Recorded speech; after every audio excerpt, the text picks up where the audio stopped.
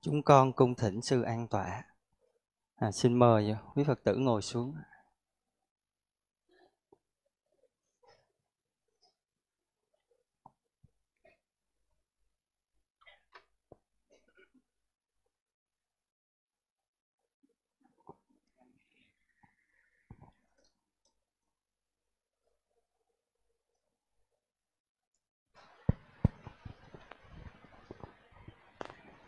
Nam mô Bổn sư Thích Ca Mâu Ni Phật. Chúng con kính bạch sư chứng minh. Kính thưa quý Phật tử, à, hôm nay à, là khóa tu thiền định kỳ vào à, chủ nhật tuần thứ hai của tháng. Trong vài tháng vừa qua, sư nhập hạ cho nên là không có về chùa để hướng dẫn khóa tu mỗi tháng. Thì trong tháng này bắt đầu sư đã ra hạ rồi và sư sẽ trở về à, với đạo tràng mỗi tháng để hướng dẫn khóa hành thiền. À, kính thưa quý Phật tử là các khóa thiền vừa qua, à, quý Phật tử được à, diễm phúc, à, được à, cung đón bước chân an lạc của sư và nhất là chúng ta được sự à, chỉ dạy về các phương pháp hành thiền, lộ trình để chúng ta đi đến à, giải thoát giác ngộ niết bàn. Đó chính là lộ trình bát chánh đạo, đó chính là lộ trình giới định tuệ. Và quý Phật tử nhớ là chúng ta chỉ có thể thực hành được giới định tuệ và bát chánh đạo khi nào có Đức Phật chánh đẳng giác xuất hiện thì mới có lộ trình giới định tuệ, thì mới có lộ trình bát chánh đạo. Và có lộ trình bát chánh đạo, giới định tuệ thì chúng ta mới có điểm kết thúc cái vòng luân hồi.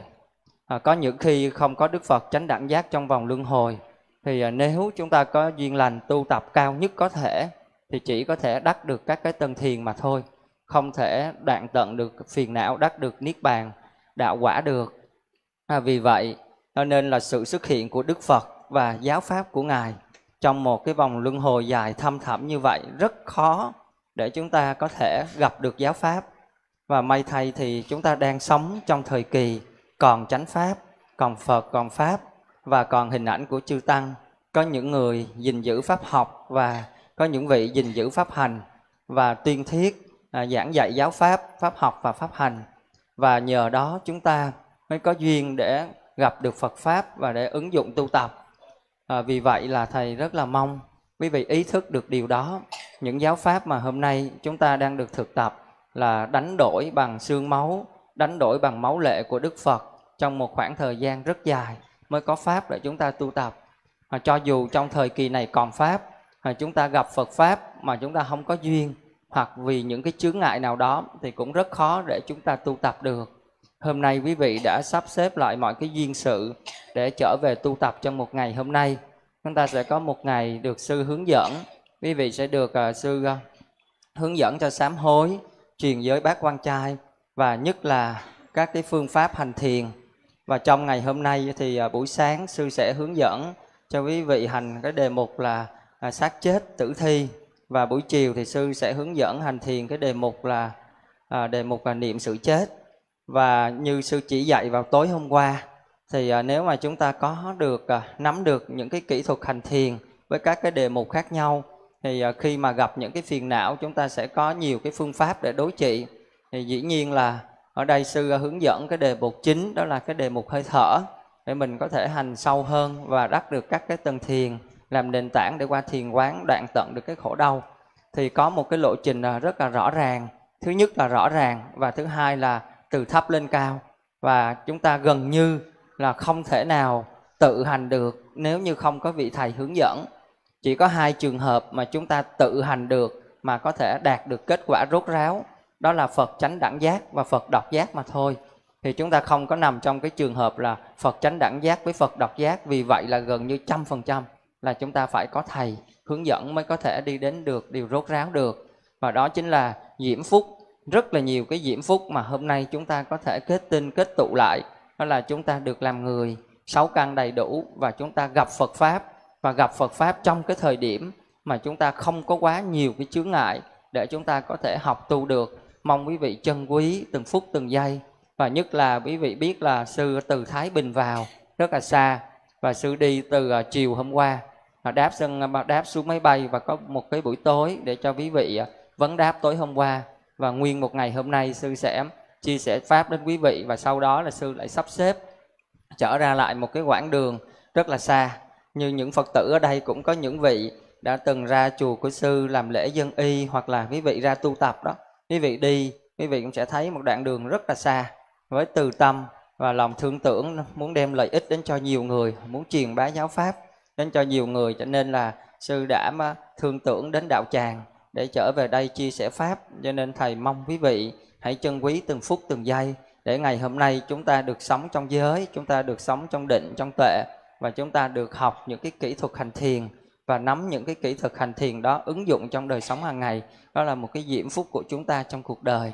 Thầy xin giới thiệu đến đại chúng là à, hiện diện trên pháp tòa, cũng như là cái vị sư sẽ hướng dẫn xuyên suốt trong ờ, khóa thiền ngày hôm nay cũng như là đã hướng dẫn trong các khóa thiền trước và cũng như là vị thầy tâm linh để quý vị ờ, nương tựa thực hành đó là sư thanh minh ở tại ờ, chùa phúc minh của tỉnh thái bình À, chúng con kính bạch sư vào giờ này đạo tràng của chúng con đã trang nghiêm thanh tịnh. À, chúng con cung thỉnh sư khai pháp. Yeah.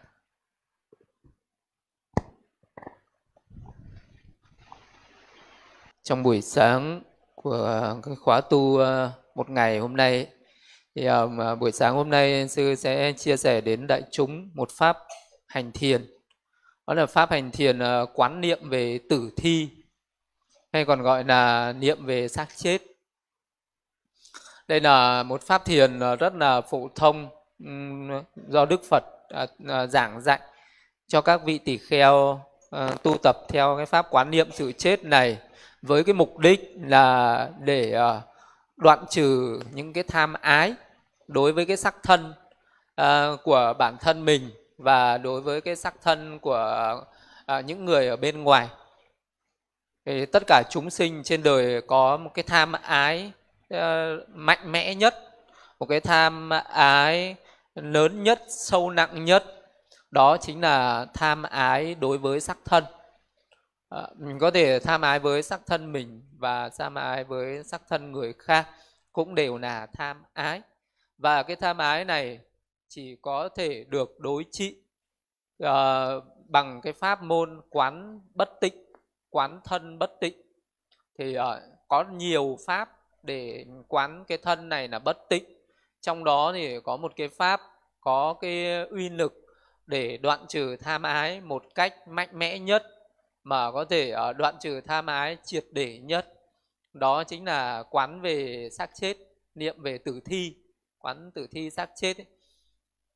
thì đức phật cũng dạy là ta không thấy uh, có một cái uh, cái một cái gì mà nó nó có thể chi phối cái tâm con người ngự trị tâm con người bằng cái sắc thân nhất là hay là với người uh, uh, một cái sắc thân của người nam thì uh, chi phối ngự trị tâm trí người nữ hay là sắc thân người nữ thì nó chi phối ngự trị vào cái tâm trí của người nam.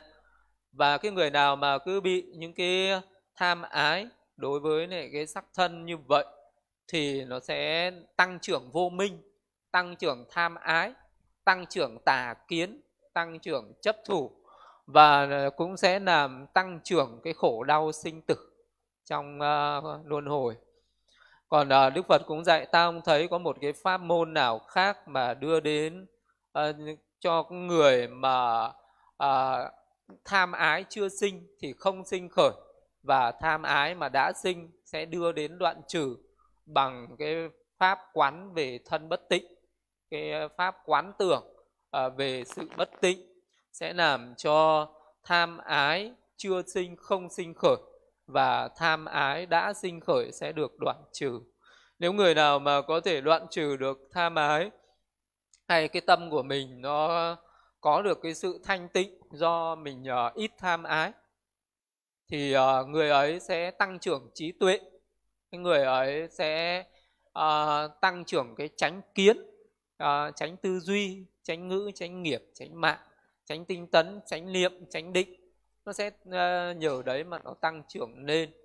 Thì, uh, vậy nên là cái người nào mà càng uh, giữ được cái nội tâm của mình không bị chi phối bởi những tham ái thì người đấy sẽ càng có được cái sự tự tại.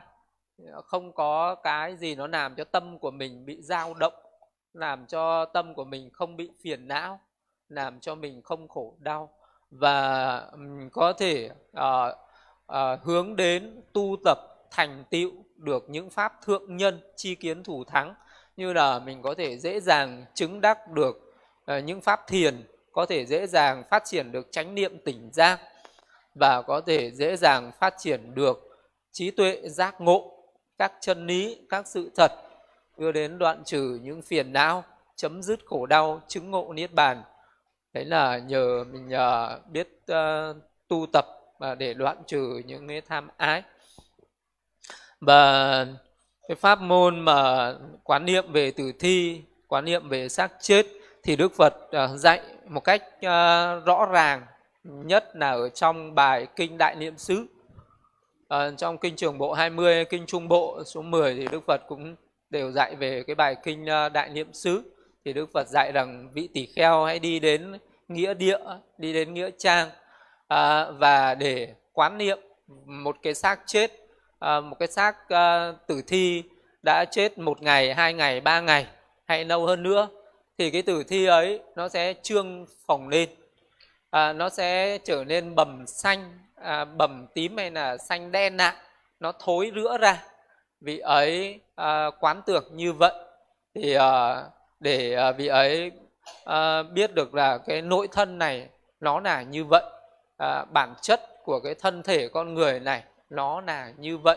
Nó không vượt khỏi tánh chất ấy.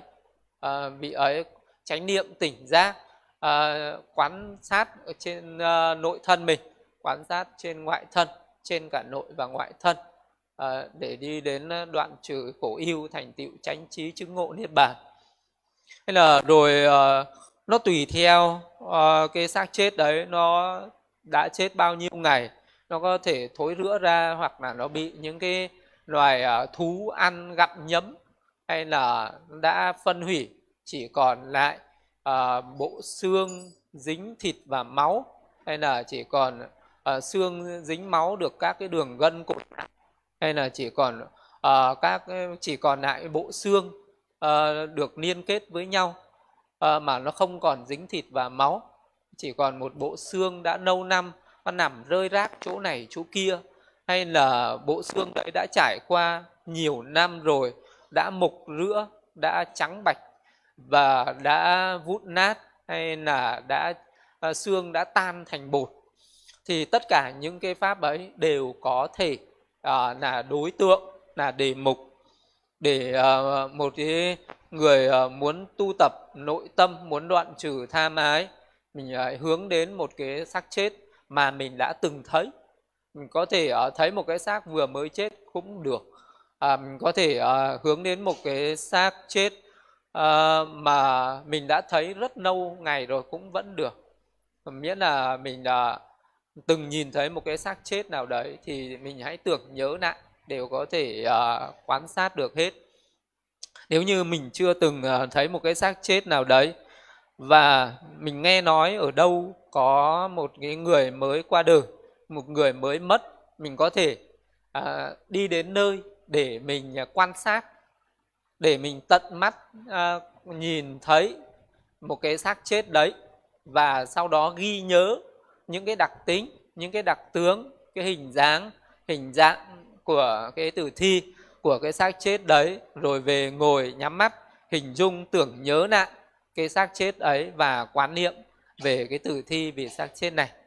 Nên là cái ờ, pháp quán niệm tử thi này cũng ờ, được uh, hướng dẫn giảng dạy một cách chi tiết như ở trong uh, luận thanh tịnh đạo là có cái sự hướng dẫn giảng dạy cũng uh, cặn kẽ rõ ràng chi tiết. Nếu như ai uh, muốn tham khảo tìm hiểu trên uh, lý thuyết thì mình hãy à, đọc uh, cái phần uh, thực hành uh, cái chương thực hành về thiền định có cái bài quán niệm về tử thi này. Nhưng uh, khi mình nghe nói ở đâu có tử thi thì mình hãy uh, đi đến cái nơi ấy để quan sát. Nếu như mình uh, thấy có một cái tử thi thì mình hãy đứng uh, không đứng ở đầu gió mình cũng không đứng ở cuối gió.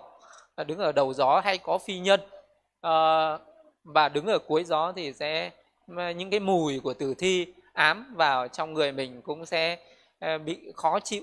Và hãy đứng ngang ngang hàng, ngang người của tử thi ấy. Hay là mình ờ, đứng ngang chiều gió để mình không bị tác động bởi cái gió đấy cuốn vào người mình. Và hãy quan sát cái tử thi ấy. Nếu như tử thi ấy mới chết thì mình cũng quan sát được, hoặc là đã chết một, hai ngày, ba ngày là bắt đầu có cái sự trương phồng lên. Cái, cái tử thi đấy bắt đầu ờ, có dấu hiệu của cái sự thối rữa một chút. Hay là à, trải qua nhiều ngày hơn sẽ bầm tím xanh đen nặng thì à, mình hãy quan sát cho kỹ càng. Và có 10 cách để quan sát tử thi 10 cái đề mục 10 cái phương pháp để uh, nhận diện uh, để mình ghi nhớ để tránh niệm trên cái pháp quán niệm tử thi ấy nếu như uh, mình uh, có thể quán cái tử thi đấy là tử thi trương phòng thì uh, mình uh, có thể nhắm mắt lại và cứ ghi nhận là xác chết phình trương. Uh, cái xác chết ấy nó phình trương lên thì cứ niệm như thế xác chết phình trương xác chết phình trương. Và cứ liên tục niệm niệm tránh niệm như thế uh, và cái tâm của mình uh, luôn luôn uh, tưởng nhớ ghi nhớ được cái hình ảnh của xác chết đấy không gián đoạn rồi dần dần mình sẽ đạt đến cái sự định tĩnh đạt đến nhất tâm. Hoặc là mình có thể quán cái tử thi xác chết đấy bằng cái pháp là quán về xác chết này đã xanh đen nặng tức là nếu như cái tử thi ấy chết nhiều ngày hơn thì uh, sẽ đổi màu cái sắc uh, ờ, mặt sẽ trở nên thâm tím lại bầm tím lại hoặc là trở thành cái màu xanh màu đen. Thì lúc đấy đấy cũng là một pháp à, mình sẽ quán là à, tử thi bầm tím hay là tử thi bị xanh đen. À, xác chết bầm tím xác chết bầm tím. Đấy cũng là một cách niệm. Hoặc là nếu như tử thi ấy đã mưng mủ lên rồi đã nứt nẻ ra có thể máu đã thối à, rồi trở thành mủ rồi thì đấy cũng là một pháp. Và mình sẽ quán là xác chết mưng mủ xác chết mưng mủ xác chết mưng mủ. Ở đấy là một pháp quán niệm hay là tử thi ấy như là một cái người mà bị tai nạn giao thông mà thì đấy cũng là một tử thi và nếu như mình quan sát như là cái người ấy cái tử thi uh, có máu me máu me hay là bị uh, uh, be bét thì đấy cũng là một cái cách để mình quán niệm. Uh, mình có thể uh, nhìn trên hình ảnh cũng vẫn quán được nếu như mình không trực tiếp nhìn thấy tử thi uh, bằng mắt thường mình có thể uh, xem trên các hình ảnh mà người ta đã chụp lại những cái hình ảnh những xác chết đấy và mình có thể tưởng nhớ được. Thì đấy vẫn là một cái pháp để mình có thể quán niệm tử thi. Đấy là tử thi máu me. Thì mình cứ niệm như vậy xác chết máu me xác chết máu me. Còn là uh, có những tử thi mà chết lâu ngày hơn thì có giỏi bọ đã bắt đầu bâu uh, kín ở trên người. Uh, giỏi bọ chui ra từ mắt tai mũi lưỡi khắp toàn thân thì ờ, đấy cũng là một cái cách quán niệm và rất là kinh cả và mình sẽ quán niệm là à, à, xác chết giỏi bọ xác chết giỏi bọ. Hoặc là cái có những tử thi bị nứt nẻ ra thì mình niệm là à, tử thi nứt nẻ tử thi nứt nẻ hay là xác chết nứt nẻ xác chết nứt nẻ. Có những cái nếu như có những người thì người ta thấy những cái tử thi à, bị những cái loài thú nó gặm nhấm như là ở những nước như Ấn Độ hay là một số quốc gia thì người ta có cái cách an táng, đó là ờ, người ta bỏ xác chết vào trong rừng mà người ta không chôn đi. Thì đa số là cái tục lệ, tập quán ở ờ, Ấn Độ và những nước mà có cái văn hóa ờ, ảnh hưởng của Ấn Độ thì người ta không có chôn người chết mà người ta để ở trong rừng, ở trên cánh đồng. Thì sẽ có nhiều những con thú như con diều hâu, con quạ, con kên kên nó lại nó ăn và xác chết đó đã bị gặm nhấm bởi các loài thú. Như vậy thì đấy cũng là một đề mục xác chết gặm nhấm xác chết gặm nhấm. Và cũng uh, có những tử thi thì bắt đầu thối rữa rã rời rục rã như là có những cái xác chết mà chết uh, do bão nụt lâu ngày hay trôi sông thì uh, uh, sẽ bị những cá nó cắn rỉa. Hoặc là một thời gian sau thì rục rã uh, tả tơi thân uh, à, thịt thối rữa đây. Thì đấy cũng là một cái cách để mình quán niệm là xác chết tả tơi. À, hay là niệm là xác chết thối rữa xác chết thối rữa. Còn à, có những tử thi thì đã rơi rụng ra chân tay hay là các cái phần của thân thì đã rơi rụng ra thành từng mảng thì mình cũng niệm xác chết rã rời xác chết rã rời. Và cứ quán niệm như vậy để mình à, thấy được cái bản chất của cái sắc thân này nó là như vậy nó không vượt khỏi cái tánh chất ấy. Để mình có sự thức tỉnh ra có sự uh, tỉnh giác có cái sự uh, uh, kinh cả đối với cái xác thân nhàm chán ni tham đối với cái xác thân này. Và có cái pháp nữa là quán về bộ xương. Cái pháp quán về bộ xương thì uh, cái người nào mà mình đã từng thấy bộ xương như là văn hóa Việt Nam thì hay có tục nệ đó là đi ờ, cải táng cải cát. À, khi mà có người mất thì sẽ mang đi chôn ở dưới đất. À, trong cái thời gian khoảng 3 năm trở đi thì lại đào lên và gom cái bộ xương ấy cho vào một cái tiểu nhỏ hơn rồi mới đi chôn lại. Thì một cái người mà mình quan sát bộ xương ấy đấy cũng là một đề mục để niệm về xác chết.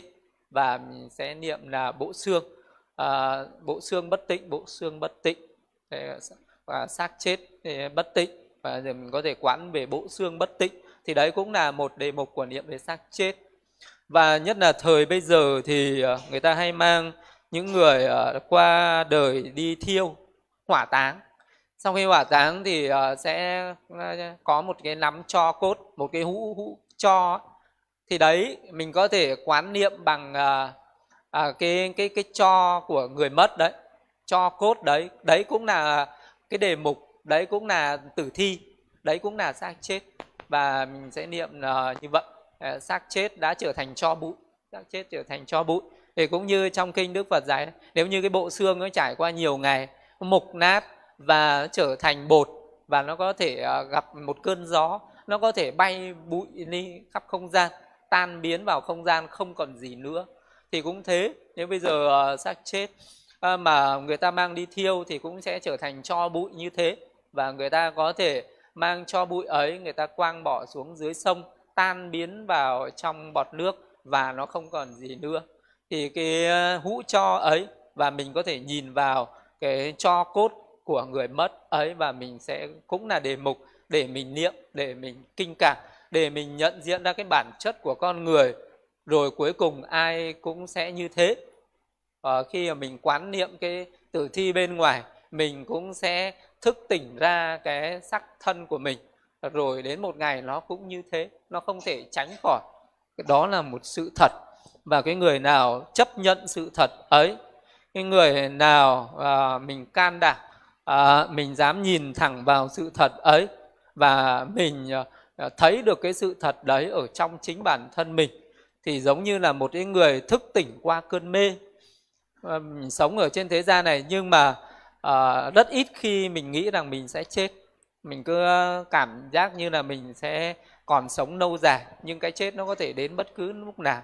Nó có thể đến với người khác thì nó cũng có thể đến với chính bản thân mình.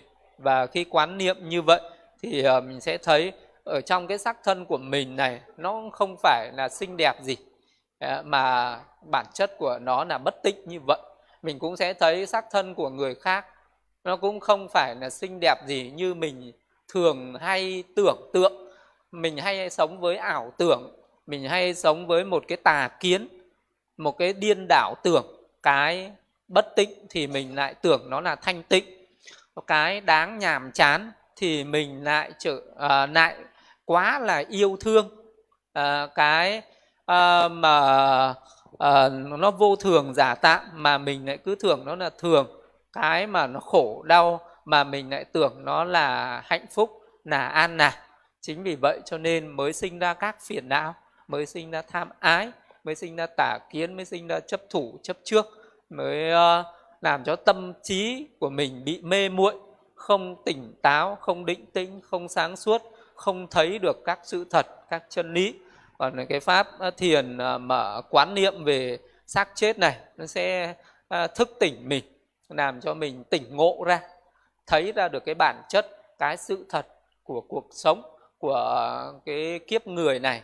Bản chất là như vậy tính chất là như vậy không thể nào tránh khỏi cái sự uh, bất tịnh cái sự chết ấy.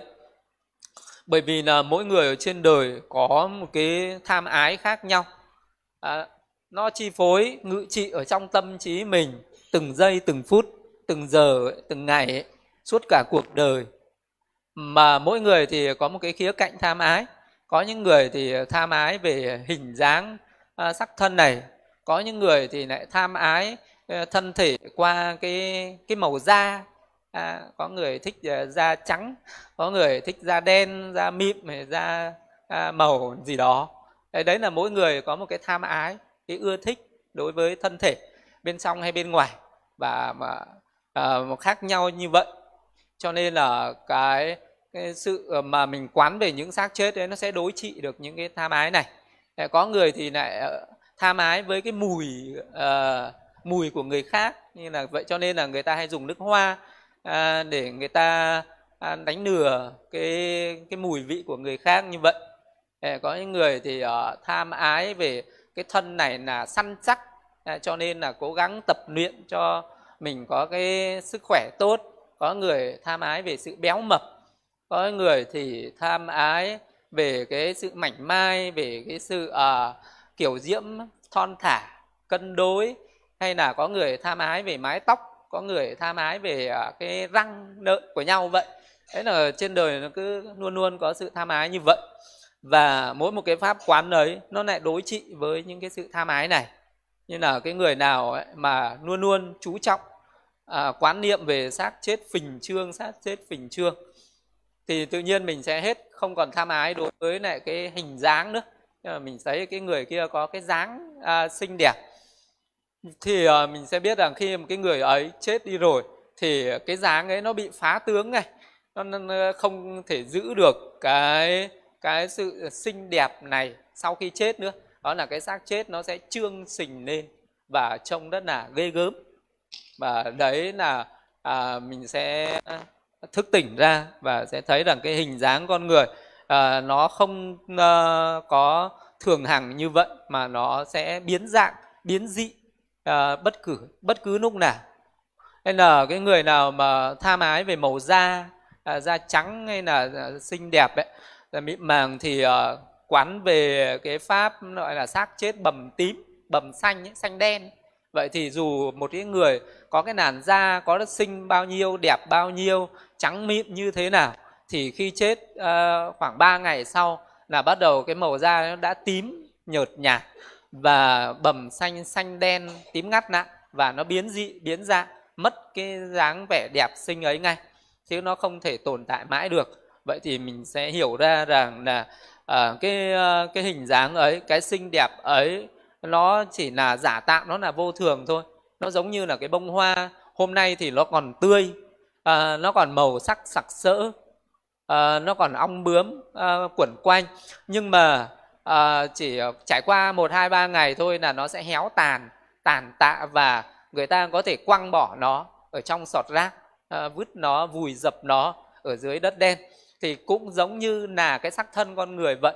Có thể hôm nay là đẹp xinh đẹp như vậy à, xinh như hoa như vậy nhưng mà chỉ chết à, một hai ngày ba ngày là người ta cũng đem chôn vùi dưới đất đen chứ không có tồn tại mãi được. Và mình với một cái người uh, uh, học đạo với một cái người tu phật mình cần phải thức tỉnh ra phải sống với sự thật ấy chấp nhận sự thật ấy gạt bỏ đi cái si mê gạt bỏ đi cái sự mê muội à, mình không nên sống với cái ảo tưởng à, không nên sống với những cái ờ, điên đảo tưởng.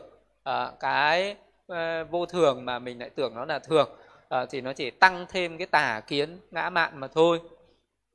Như vậy với một cái người mà à, hay à, có cái tham ái về mùi à, nhưng là mình thích có những cái mùi thơm tham ái với người khác người ta xịt nước hoa thì uh, người ấy quán về cái xác chết mưng mủ xác chết mưng mủ. Nếu như bây giờ trên thân mình ấy, mà có một cái vết thương nào đấy và nó bị mưng mủ hay là nó dỉ mủ nó nó bị chảy mủ ra mình sẽ thấy là cái mủ đấy nó là do máu của mình nó thối ra và nó sẽ có một cái mùi thối mùi hôi tanh à, nồng nặc khủng khiếp như thế nào. Thì với một cái người mà khi người ta chết trải qua hai ba ngày bốn năm ngày người ta mưng mủ lên thì cái xác ấy nó sẽ thối. Và nó sẽ thối mà không có cái gì trên đời này sánh bằng được cái xác thân con người. À, khi uh, sống thì nó thơm tho như vậy nhưng mà khi chết thì nó lại hôi thối khủng khiếp như vậy. Và không ai có thể chịu đựng được cái mùi hôi thối ấy. Không ai có thể đến gần được không ai có thể ưa thích được không ai có thể tham ái được với cái xác thối ấy nữa vậy thì uh, đấy là một cái cách quán như vậy thì mình sẽ kinh cảm uh, ghê gớm nhàm chán. Đối với cái sắc thân này thật sự là nó không thơm tho như mình nghĩ mà bản chất của nó là hôi thối như vậy. À, mình chỉ có một chút gì đó ở trong cơ thể mình bị hoại tử thôi là nó đã mình đã cảm nhận được cái sự hôi thối ấy rồi.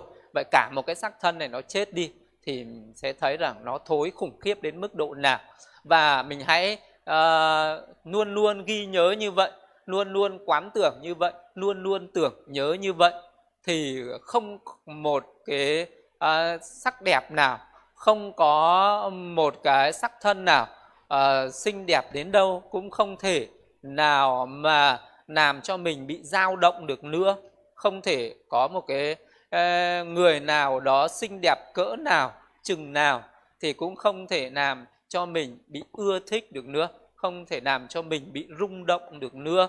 Mình sẽ thản nhiên sẽ tự tại. Và đó chính là uh, cái cái sự giải thoát khỏi tục trần là nhờ mình có được cái sự tự tại xúc chạm với những cái cảnh khả ái ở thế gian mà mình không bị những cái cảnh ấy nó cám dỗ không bị những cái cảnh ấy nó cuốn hút không bị những cái cảnh ấy mê hoặc đấy mới là cái sự tự tại giải thoát, đấy mới là cái phước lành cao thượng nhất. Và có những người thì ở trên đời lại à, ưa thích là mình có cái sở hữu. Tức là mình cứ muốn là thân này là tôi, là của tôi, là tự ngã của tôi. Đôi khi mình muốn sở hữu thân người khác, muốn là cái thân này là tôi, là của tôi, tự ngã của tôi. Và có thể là cái người ấy sẽ có cái tánh ghen tuông. Nếu như mình thấy những cái người nào đấy mà mình à, đã khởi lên cái ý sở hữu mà à, mình à, sợ mất mát người ấy. Mình chỉ sợ cái người ấy có à, thương mến một người khác hay là mỗi một cái người khác sẽ chiếm đoạt cái người mà mình đang yêu quý đang yêu mến đang thương yêu này. Thì đấy là cái người có cái tính chiếm hữu có cái tính sở hữu có cái tính muốn uh, cái người khác là sở hữu của mình. Thì cái người ấy cần phải được thực hành cái pháp quán niệm về giỏi bọ uh, xác chết giỏi bọ xác chết giỏi bọ. Và mình sẽ thấy là cái xác chết này bây giờ uh, nó có cả hàng trăm ngàn con bọ nó là thức ăn của các loài giỏi bọ của những cái, giỏi bọ này. Và mình sẽ thấy rằng nó không còn là của mình nữa. Như là mình nhìn thấy một cái xác của một con chuột chết một con rắn chết hay một con chó chết hay là bất cứ một cái con vật gì đó nó chết mà nó có giỏi bọ nó bâu uh, kín ở trên cái xác ấy thì mình cũng cảm thấy khủng khiếp. Và mình sẽ biết là mình không thể sở hữu cái xác chết này được nữa. Mình không thể sử dụng được nó và mình chỉ có thể quăng bỏ nó đi mà thôi. Cũng như vậy nếu như mà à, mình nghĩ rằng người này là của ta à, là tự ngã của ta hay là mình sở hữu cái xác thân này nhưng mà mình sẽ quán rằng cái xác chân này là giỏi bọ xác chết giỏi bọ thì mình sẽ cảm thấy ghê gớm à, cảm thấy muốn nìa xa cảm thấy muốn tránh xa không còn muốn gần gũi à, không còn à, chấp rằng đó là của mình nữa. Và đấy là cái cách để mình nhàm chán để ni tham để đoạn trừ những cái mê hoặc ở trong chính nội tâm mình. Thì uh, mình hãy niệm luôn luôn uh, tưởng nhớ đến là xác chết giỏi bọ xác chết giỏi bọ xác chết giỏi bọ. Cứ niệm niệm như vậy thì không bao giờ mình còn muốn sở hữu cái nội thân mình hay là cái ngoại thân bên ngoài nữa và mình biết rằng cái nội thân này là của uh, thức ăn của các loài giỏi bọ ấy đáng ghê gớm đáng kinh sợ có những người thì uh, ưa thích là cái sắc uh, thân này là uh, săn chắc rắn chắc rắn rỏi uh, uh, và mình tập luyện nhiều thứ để cho cái sắc chân này nó rắn rỏi ấy. Uh, nó có nhiều cơ bắp ấy thì uh, đấy cũng là một cái loại tham ái. Có những người tham ái như vậy. Cái cách tham ái như vậy thì uh, mình hãy quán đến cái niệm về xác chết bị uh, nứt nẻ. Xác chết nứt nẻ xác chết nứt nẻ. À, khi mà xác chết thì một thời gian sau sẽ vỡ ra sẽ bung ra à, sẽ à, vỡ tan à, cái cái xác thịt ra. Và lúc đấy mình sẽ thấy rằng dù có rắn chắc bao nhiêu thì khi chết vài ngày sau thì cũng tan vỡ cũng tan vỡ cũng hủy hoại như vậy nó giống như là có một cái bình gốm đẹp nhưng mà mang à, nó bị rơi xuống đất nên nó bị vỡ tan ra. Như vậy bao nhiêu những cái vật mà mình cảm thấy yêu quý mình trưng bày uh, và mình nghĩ rằng đẹp lắm nhưng mà nó rơi xuống đất nó vỡ vụn ra. Như vậy cái thân thể này thế dù có rắn chắc bao nhiêu thì khi chết nó cũng bị vỡ bung ra như thế. Và đó là một cái cách để uh, mình không còn tham ái với cái thân thể săn sắc nữa có những người thì ờ, uh, tham ái với cái sắc thân mập mạp. À, mình có thể mình ưa thích mình có một cái sắc thân mập béo à, chăm sóc cho nội thân của mình mập béo hoặc là mình tham ái với một cái thân béo mập của người khác. Thì người ấy sẽ rất phù hợp để quán cái xác chết đó là xác chết bị uh, uh, bị các cái loài thú gặm nhấm uh, gặm à, những cái loài thú mà nó gặm nhấm ấy, thì lúc đấy mình sẽ thấy rằng là à, cái người càng mập béo thì sẽ càng là cái thức ăn ngon lành cho những cái loài thú ấy mà mà thôi. Thì lúc ấy mình cũng sẽ không còn tham ái với lại cái xác chết béo mập. Có những người thì ờ, uh, tham ái với một cái xác chết là cân đối thì cái người ấy sẽ thấy rằng cái xác chết khi nó chết nó thối rữa nó tả tơi ra rã rời rơi rụng ra. Hay là xác uh, mỗi người thì có những cái tham ái khác nhau. Có người tham về uh, tóc hay là răng uh, đẹp của người khác thì quán về bộ xương. À, niệm về bộ xương là nó sẽ hết. Cái bộ xương bất tịnh bộ xương bất tịnh thì cái người đấy sẽ không còn ưa thích là cái răng cái tóc của người của mình hay là cái răng cái tóc của người khác nữa. À, đấy là những cái pháp quán như vậy. Thì nó đoạn trừ những cái cái tham ái khác nhau như vậy. Mỗi người có những cái à, cái cái tâm tánh hay là mỗi người có cái khuynh hướng à, có cái sự ưa thích khác nhau có cái tham ái khác nhau thì mình hãy lựa chọn một cái pháp quán tử thi thế nào mà nó phù hợp nhất. Thì uh, khi mà đối với ở Việt Nam mình uh, mình để mà có được những cái xác chết phình trương hay là xác chết bầm xanh pháp chết thối rữa mình thấy được thì rất là khó.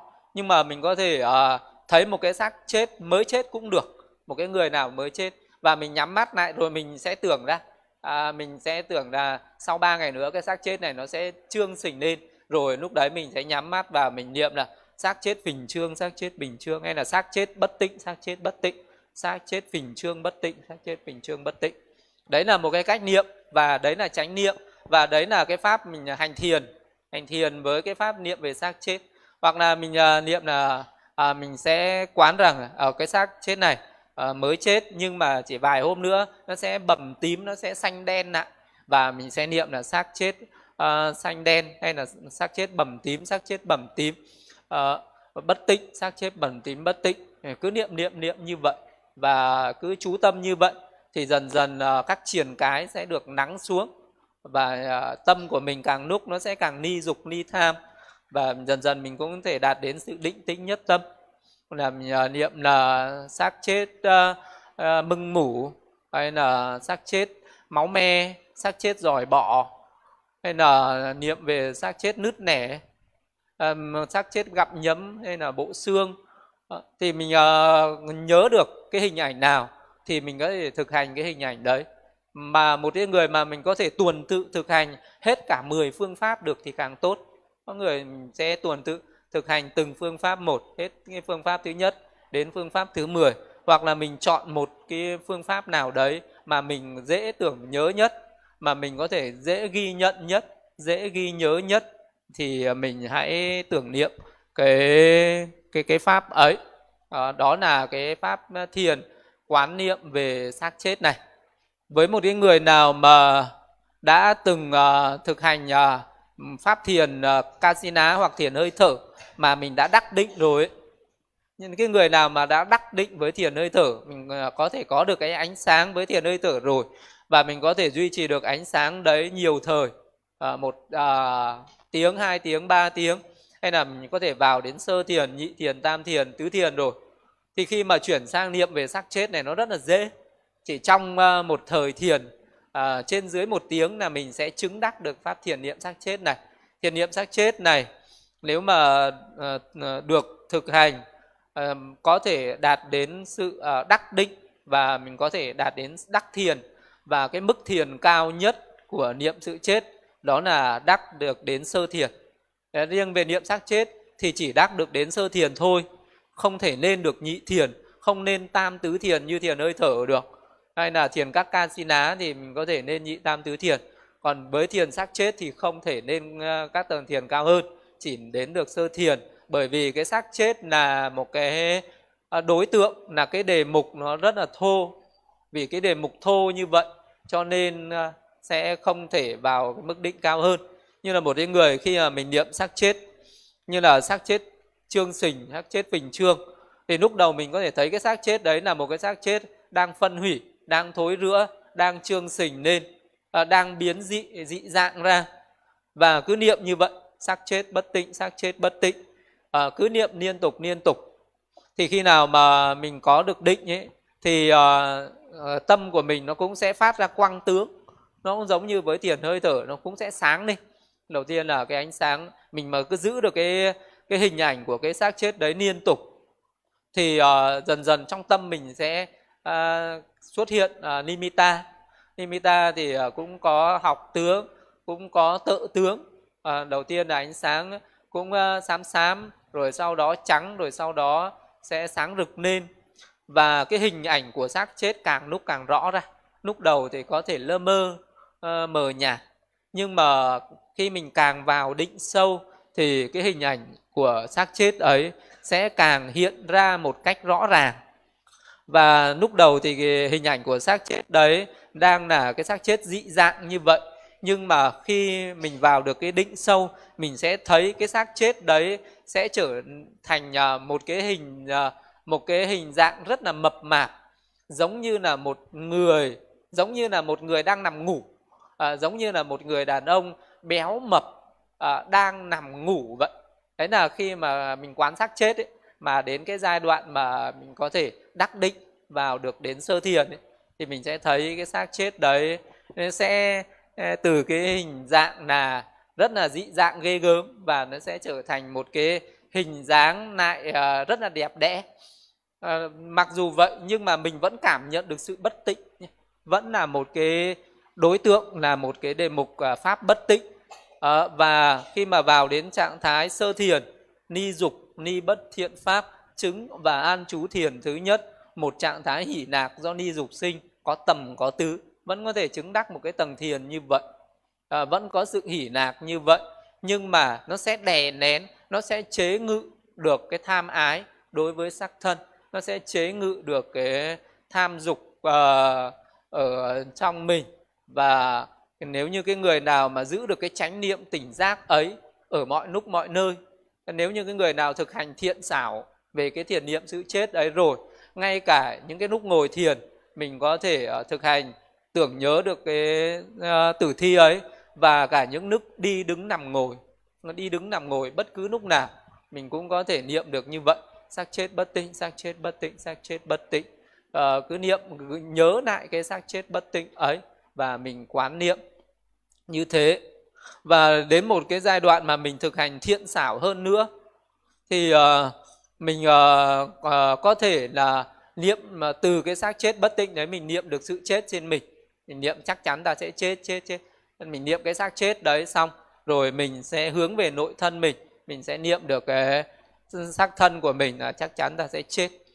Và buổi chiều hôm nay thì sư sẽ hướng dẫn về cái pháp thiền niệm về sự chết trên bản thân mình rồi cũng từ uh, khi mình niệm được sự chết trên bản thân mình rồi mình cũng thấy cái thân mình nó cũng bất tịnh như xác chết đấy thì mình cũng niệm được cái xác chết cái sự chết trên những người khác.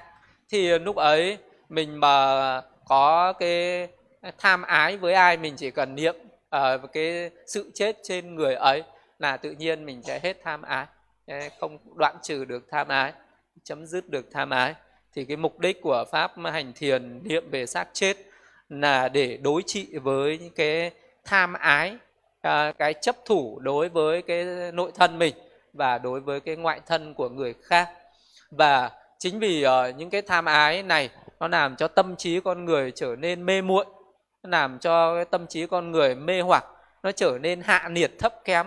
Nó không có cái sự định tính không có được cái sự tỉnh táo không có được cái sự sáng suốt. Và cái người nào mà còn bị cái nghe tham ái này à, mê hoặc ngữ trị chi phối thì à, người ấy không bao giờ có thể chứng đắc được những pháp thượng nhân. Như là không bao giờ mình có thể chứng được thiền nếu như mình không chế ngự được cái tham ái ấy thì à, mình có hành thiền cũng không đắc được thiền.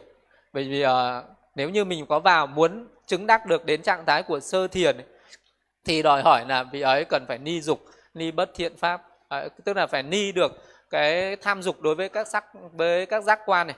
Mắt của mình không còn thích với sắc đẹp nữa. À, tai mình không còn thích với những cái âm thanh hay nữa.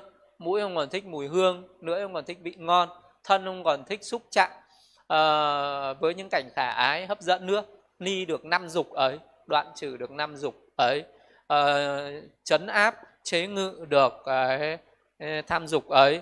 Thì lúc ấy mình mới có thể uh, trú được vào các tầng thiền và khi mình có thể à, đạt được đến tâm định tĩnh ấy rồi thì mới có thể à, quán được các cái pháp về thiền vipassana mới có thể thực hành được thiền tuệ mới có thể thấy được các cái pháp chân đế như là thấy được cái à, sắc thân năm uẩn này à, sắc uẩn thọ tưởng hành thức mới có thể thấy được các cái à, pháp về à, khổ về à, nhân sinh ra khổ về sự diệt khổ con đường đưa đến uh, diệt khổ này.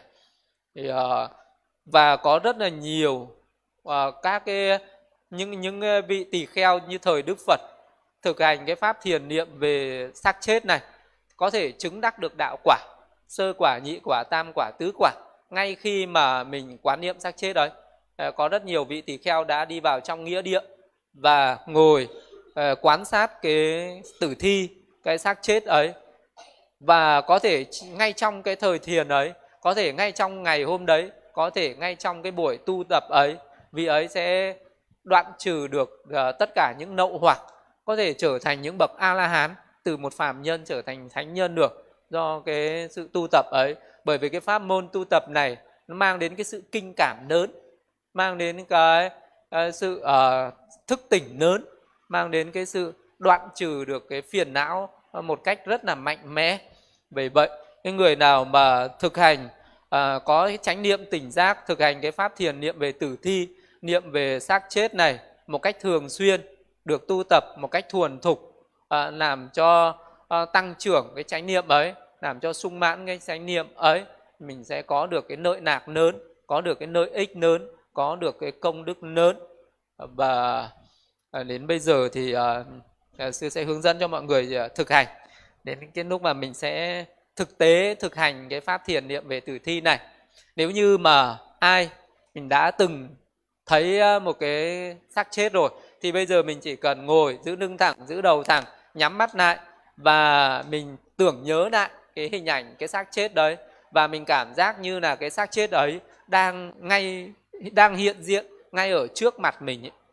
và mình không được sợ nhé không được khởi lên cái tâm sợ hãi cái xác chết. Và mình phải uh, thấy rằng cái xác chết ấy như một báu vật. Uh, bởi vì là mình có thể tìm được kiếm được những cái đề mục thiền khác thì rất là dễ. Nhưng mà để mà có được cái đề mục về thiền niệm về xác chết này rất là khó.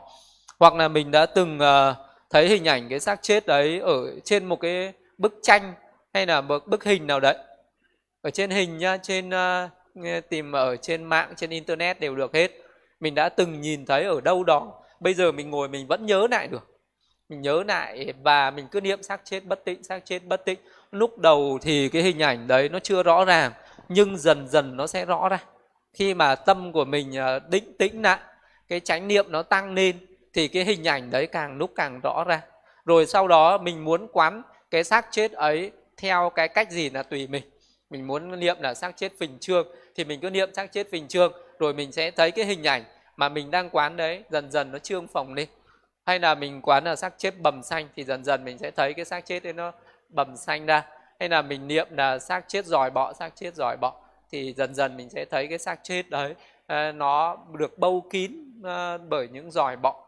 Hay là xác chết nứt nẻ. Mình có thể niệm bất cứ cái cách nào mà mình chọn một trong 10 cái cách quán niệm ấy mà mình cảm thấy dễ niệm nhất thì mình sẽ niệm à, hoặc là mình cứ niệm một cái xác chết nó đang thối rữa ra và cứ niệm là xác chết bất tịnh xác chết bất tịnh xác chết mưng mủ xác chết uh, máu me uh, xác chết giỏi bọ xác chết nứt nẻ xác chết thối rữa hay là bộ xương bất tịnh bộ xương bất tịnh hay là mình đã từng nhìn thấy một cái cho cốt của ai đó uh, rồi thì mình hãy cứ niệm là xác chết là cho bụi xác chết cho bụi thế là cứ niệm niệm như thế hoặc là xác chết là bất tịnh bất tịnh như vậy và mình à, à, cảm tưởng như là cái xác chết đấy rất là hôi thối à, rất là ghê gớm và luôn luôn giữ cái hình ảnh đấy liên tục cố gắng giữ cái hình ảnh đấy không bị gián đoạn.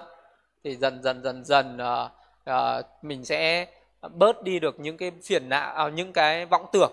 Khi mà có những cái vọng tưởng gì đó nó khởi đến thì tự mình nhắc nhở là hãy buông bỏ vọng tưởng ấy đi. Mình hãy ngăn ngừa tâm đừng cho nó đi theo những vọng tưởng khác ngăn ngừa tâm đừng để cho nó hướng sang những cảnh khác. Và luôn luôn quan sát cái xác ấy từ đầu đến chân từ chân đến đầu. À, cứ nia qua nia lại mình cứ rà cái tâm của mình từ trên xuống dưới. Hoặc là mình dình mình có thể nhìn chung một cái hình ảnh đấy. Hoặc là mình có thể chú trọng vào à, một cái phần nào đấy trên xác chết. Nếu như mình thấy được toàn thân cái xác chết cũng được mà mình chú trọng đến một cái phần nào đấy trên cái xác chết ấy cũng được à, và mình cứ luôn luôn niệm để thấy sự bất tịnh như vậy và khi nào mà mình cảm thấy nó căng thẳng quá mệt mỏi quá mà mình không còn niệm thêm được nữa thì lúc đấy quay trở về nhận biết hơi thở vào ra và hàng ngày mình cũng có thể thực hành như vậy có thể dành ra à, 10 phút, 20 phút hoặc 30 phút đầu và niệm xác chết, xác chết, xác chết bất tịnh, xác chết bất tịnh. Rồi sau đó mình quay về nhận biết hơi thở. Và mình có thể à, niệm xác chết suốt cả thời thiền cũng được. Và mình có thể chia làm hai, một nửa thời thiền niệm xác chết, sau đó một nửa thời thiền sau thì quan sát hơi thở cũng được. Đấy là cái cách tu tập như vậy. Thì bây giờ à, mình sẽ thực tế thực hành cái pháp thiền niệm xác chết này. Đó là mình sẽ ngồi, ở giữ lưng thẳng đầu thẳng, nhắm mắt lại và hãy nhớ lại xem mình đã từng gặp xác chết nào chưa từng thấy một cái xác bất của bất cứ ai của bất cứ người nào mình đã từng thấy một cái người nào đấy chết dù cho mình nhìn chưa được rõ cũng được dù cái xác chết đấy nằm trong quan tài à, cũng được thì mình hãy hướng tâm vào bên trong cái quan tài mình sẽ ừ, tưởng ra được cái xác chết sẽ hình dung ra được cái xác chết. Hoặc là mình đã thấy cái xác chết đấy ờ, ở, ở trên một cái hình ảnh một cái bức tranh ảnh nào đấy ờ, ở trong một cái hũ cho cốt nào đấy hay là bộ xương nào đấy hay là một cái người chết tai nạn ở ngoài đường nào đấy đều được hết và cứ niệm như thế không được suy nghĩ mông nung gì cả.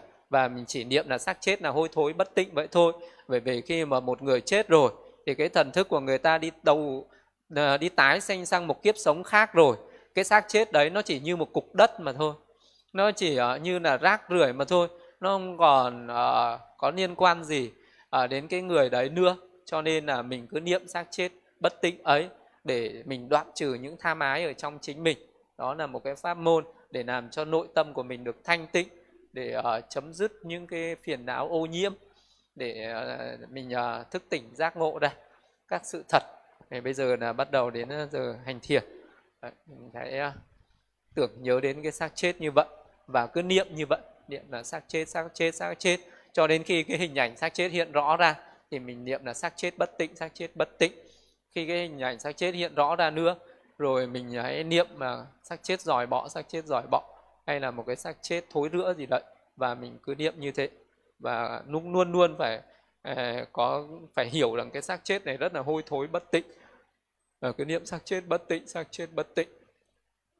Rồi, mình